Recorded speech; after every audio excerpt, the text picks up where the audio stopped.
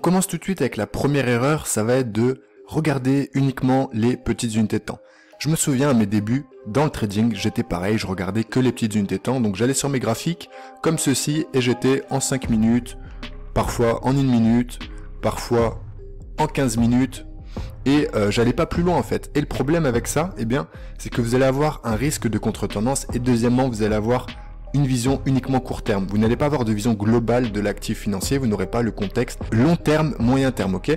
Pour ce faire, pour avoir un contexte long terme, il faut forcément aller sur les trois unités de temps ici, donc le mensuel, le weekly ou le daily. De cette façon, en allant sur le mensuel, vous pourrez constater, par exemple, ici sur le pétrole, eh bien, une forte tendance haussière, ok? Vous avez une énorme tendance haussière en mensuel que jamais de la vie vous pourrez constater en 5 minutes. Et le problème, c'est que si vous n'avez pas les informations du mensuel, du weekly et du daily, donc la tendance vraiment long terme de l'actif, eh bien, par exemple, ici, regardez en direct, on est en 5 minutes, on voit une énorme bougie rouge et donc on pourrait être tenté de vendre parce qu'on englobe, on est sur une espèce de résistance, mais en fait, tout ça se passe uniquement en 5 minutes et ce n'est pas forcément solide. C'est ça le problème des petites unités de temps, c'est qu'il y aura beaucoup de feux signaux, l'analyse technique n'est pas pertinente en fait sur les petites unités de temps. La chose la plus efficace pour réussir à faire une bonne analyse technique, c'est vraiment d'avoir le contexte global long terme, d'avoir ensuite une utilisation des unités de temps Moyen terme, donc l'horaire 4 heures, 3 heures, 2 heures, 1 heure, pour voir ce qui se passe au niveau des signaux par exemple ou de zone de prix. Et les petites unités de temps, eh bien, vous serviront encore à autre chose les amis. Personnellement, dans mon analyse technique, je commence toujours sur les grosses unités de temps. Le mensuel, le weekly, pour dégager la tendance, pour tracer les fortes zones de prix que vous voyez ici par exemple en bleu et vous voyez à quel point eh bien, les zones de prix en mensuel, en weekly ou en daily sont puissantes parce que c'est exactement cette zone de prix qui stoppe le marché depuis eh bien, plusieurs semaines, plusieurs mois, d'accord? Et si on vient avoir un rebond sur le pétrole, eh bien, ça partira de cette zone de prix euh, long terme que beaucoup d'investisseurs ont sur leur graphique. Évidemment, vous n'êtes pas obligé de tracer vos zones de prix en weekly ou en mensuel, vous pouvez aller sur le daily, mais je vous conseille quand même pour dégager une tendance euh, stable et puissante d'aller sur les grosses unités de temps comme le mensuel, le weekly ou le daily. Du coup, j'utilise vraiment l'analyse technique long terme et globale de mon actif que je souhaite trader sur les grosses unités de temps. Et tout ce qui va être 4 heures, 1 heure, 30 minutes, 15 minutes, voire 5 minutes, eh bien ça va être uniquement pour avoir plus de détails sur les bougies. Parce que quand on a une bougie weekly, eh bien c'est compliqué de savoir ce qui se passe en temps réel dessus, d'accord? En effet, là on peut constater qu'on a une mèche sur la zone, qu'on est en train de repartir. On n'est toujours pas en cassure de zone, donc la zone tient toujours, mais c'est la seule information globalement qu'on a. Maintenant, si on veut vraiment rentrer en action, prendre un trade, etc., il faudra forcément eh bien, descendre par exemple sur du 4 heures voir ce qui se passe, ok Sur du 4 heures, qu'est-ce qui se passe Eh bien, on peut voir, par exemple, que le marché euh, globalement va baisser, d'accord Et on peut voir, par exemple, sur un RSI, que le marché va globalement monter à l'inverse. Donc là, on peut constater une divergence, c'est un super signal en 4 heures solide. Ça, on peut pas le voir en weekly, d'accord? Cette bougie-là, on peut pas la voir en weekly. Et comme il faut attendre les clôtures de bougie pour entrer en position, en tout cas, c'est ce que je fais dans mon trading et c'est ce que je préconise, eh bien, attendre une bougie weekly, ça va être compliqué parce que vous allez rater beaucoup d'amplitude. Imaginons que le pétrole décolle jusqu'à 90-95 dollars. Il peut le faire littéralement en une journée. Sauf que si vous attendez la bougie weekly, on va peut-être clôturer là-bas. Et sur la semaine suivante, eh bien, on va forcément retracer un peu avant peut-être de repartir certainement, mais en tout cas, vous n'aurez pas les meilleurs timings d'entrée. Et donc les petites unités temps vont vraiment vous servir surtout, surtout, surtout pour les signaux d'entrée en position et pour votre timing. Une deuxième grosse erreur faite souvent par les traders débutants et que j'ai également moi-même faite euh, à mes débuts, lors des premiers mois, lors de la première année, c'est de penser en fait que le trading va permettre de s'enrichir rapidement. Alors à qui la faute? Parce que quand on est débutant, on est naïf, on n'a pas de compétences dans le domaine, donc on va être un peu une éponge, on va vraiment absorber tout ce qu'on nous dit, on va potentiellement y croire en fonction de notre personnalité, de notre naïveté, etc. Mais en tout cas, c'est pas forcément la faute du trader débutant de penser à tort qu'on peut s'enrichir rapidement au trading parce que c'est vraiment le message qui est véhiculé depuis des années à ce sujet sur les réseaux sociaux euh, notamment. Donc désolé de démolir vos envies d'argent rapide et vos rêves dans le trading à court terme parce que en réalité c'est tout autre chose. L'apprentissage du trading est long et pourquoi est-il long? Parce qu'il y a beaucoup beaucoup beaucoup de compétences à maîtriser. Au-delà des compétences techniques, donc tout ce qui va être analyse technique, tout ce qui va être développer une stratégie efficace, rentable, tout ce qui va être développer une gestion du risque, règles de trading, eh bien le plus dur, je pense, c'est le développement de la psychologie du trader. Quand vous sortez des études, quand vous sortez du salariat, que vous commencez à vous intéresser au trading, vous n'avez pas la psychologie d'un entrepreneur, d'un investisseur et d'un preneur de risque, d'accord? Vous pouvez l'avoir au fond de vous, mais en tout cas, elle n'est pas encore révélée parce qu'on vous a pas appris jusqu'à présent à utiliser ces facettes de votre personnalité.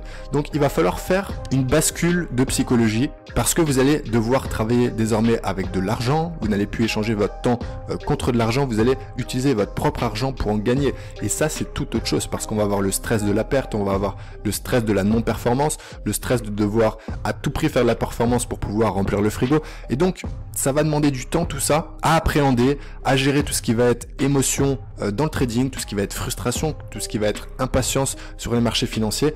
Tout ça, ça va être un long cheminement intérieur que chaque trader, que chaque personne qui souhaite un jour devenir trader en tout cas, eh bien, doit faire. C'est un chemin qui doit se faire, c'est un chemin qui prend beaucoup de temps qui prend des années. Donc quand j'entends en 12 mois tu peux devenir trader rentable, en 6 mois tu peux devenir trader rentable et parfois encore pire en 3 mois, en 1 mois, en 2 semaines, j'ai envie de rigoler les amis parce que en réalité, en tout cas ça a été mon expérience, mais je pense que c'est l'expérience que vit plus ou moins tous les traders débutants, c'est que c'est long, ok? C'est que c'est long, c'est que ça va prendre des années vraiment à peaufiner une stratégie, à développer votre psychologie, à apprendre à vous connaître au niveau émotionnel et donc vous devez être prêt à avoir une vision long terme. Si vous débutez le trading en voulant en vivre rapidement, en voulant gagner beaucoup d'argent rapidement, en voulant changer de vie, eh bien, vous allez vite être découragé parce que vous allez commencer par perdre comme tout le monde sur les marchés financiers parce que vous n'avez pas de compétences. Alors vous allez peut-être penser que c'est de l'arnaque, vous allez peut-être penser que c'est pas fait pour vous, alors que c'est pas du tout le cas. C'est juste que c'est trop tôt en fait. Vous êtes trop pressé, vous avez les mauvaises informations. En fait, vous vous laissez pas assez de temps pour vous donner une chance de réussir, pour acquérir les compétences nécessaires, pour acquérir la psychologie nécessaire, d'accord? C'est un bagage technique et émotionnel qui est long à acquérir, qui est difficile, et c'est pour ça qu'il y a autant d'échecs sur les marchés financiers, c'est parce que 90% des traders sont des rêveurs, n'ont pas la psychologie adéquate au trading. Enfin, j'aimerais rappeler que le trading est une activité à risque et que vous devez être totalement conscient qu'investir sur les marchés financiers signifie potentiellement une perte totale de votre capital, que ce soit 500 euros, 200 euros ou 50 000 euros, d'accord? Donc il y a beaucoup d'histoires de personnes qui ont tout perdu. Maintenant les amis, faites attention à qui vous suivez, je vous conseille de ne pas suivre de signaux trading. Et surtout quand vous débutez, allez en démo, ne commencez pas à faire les kékés, à vouloir déposer toutes vos économies, encore pire à faire des crédits pour essayer de vous enrichir rapidement. C'est une impasse, d'accord? C'est un cul-de-sac, vous n'arriverez pas à faire quoi que ce soit de cette façon, selon moi. Et si par chance, je dis bien par chance, vous y arrivez, ce sera pas constructif au long terme, vous risquez de tout reperdre par la suite parce que qu'est-ce que vous allez penser? Vous allez penser que le trading est facile, que vous pouvez vous enrichir comme ça en un claquement de doigts, en quelques semaines, en quelques mois. Malheureusement, vous avez eu de la chance et par la suite, les marchés financiers se chargeront de tout vous reprendre. Troisième grosse erreur que je peux constater, c'est que souvent quand on commence le trading, on va vouloir s'entourer d'indicateurs techniques et de beaucoup, beaucoup, beaucoup trop d'indicateurs techniques. Ok?